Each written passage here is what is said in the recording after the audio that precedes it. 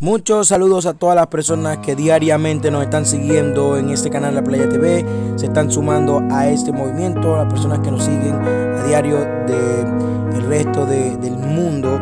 Les comento que así fue la llegada de los hijos del exfutbolista Freddy Rincón al hospital donde este está todavía internado.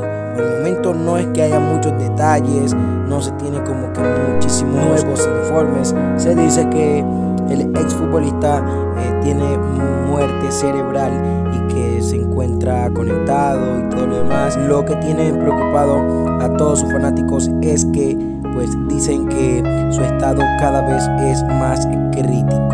Así los hijos se despidieron de los medios de comunicaciones que estaban en ese momento en la ciudad de Cali, Colombia.